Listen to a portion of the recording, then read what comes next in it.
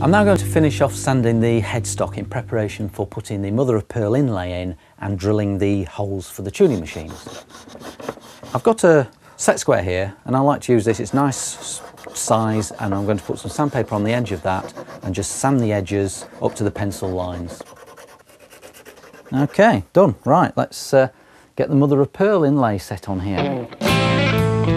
First of all we're going to position the mother of pearl inlay on the headstock and once we're happy with that we're going to spray this with the primer paint which will pro provide a nice little outline. Now the paint's dried what I'm going to do is just scribe around the edge of the inlay just to give us a really well defined edge because sometimes you get a little bit of overspray that goes underneath the, the inlay.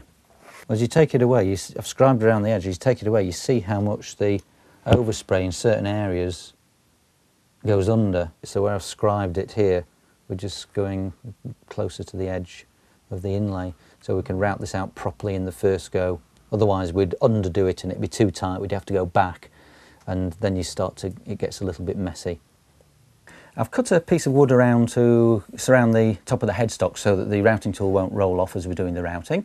I've set the depth of the routing tool to just under the thickness of the inlay, which is uh, 1.3 millimeters, so this is set to a little bit over 1 mil, 1.2. Ready to go.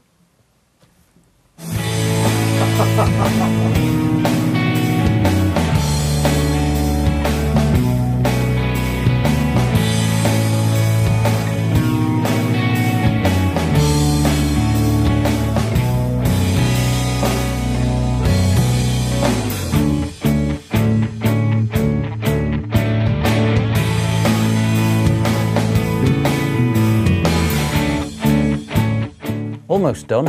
Um, I've just got the little point of the mother of pearl inlay that uh, I'm going to cut out with a, a scalpel because the uh, routing tool is a little bit too wide for that. So that, oh, oh, because that's gone into the back. It's gone in there. You can feel it, see it's gone in. There's something stopping it, but it's not going in down here. That, that tip will go in here. And it's just catching here. And if we look, actually find that it's just a little bit tight there, just that little bit there, just a little bit tight. So I'm going to use a little piece of sandpaper to sand that out. Just going round and sanding off along where the router's been, and you get some irregularities, just give a nice smooth edge so that when you put the pearl in it just looks neat and tidy. And if you slightly overcut it, if it's neat, it doesn't bring attention to to the, uh, the cut. Right, that's just about it. We just check that it's going to fit in. It just wants to go in there and it's not too tight. If it's too tight, you'll snap the pearl, but it's just going to fit in comfortably. I'm just going to uh, sand off the paint because we don't want any paint on because that will react with the, the glue and give the glue a, a white colour which we don't want and then uh, pop a load of glue in and stick that in place. So I'm quite confident that that's going to be okay. So I'm just going to put some uh, medium super glue in, plenty of it because it'll ooze out as we stick it in. So let's bomb that in and quickly and ease it in, blop. And you see the glue coming out. That's very hard to see, but it's actually seated in quite nicely. And don't over press it because otherwise it'll be below the surface. We just want to we just want to be able to have just enough to sand off at the end of the uh, process.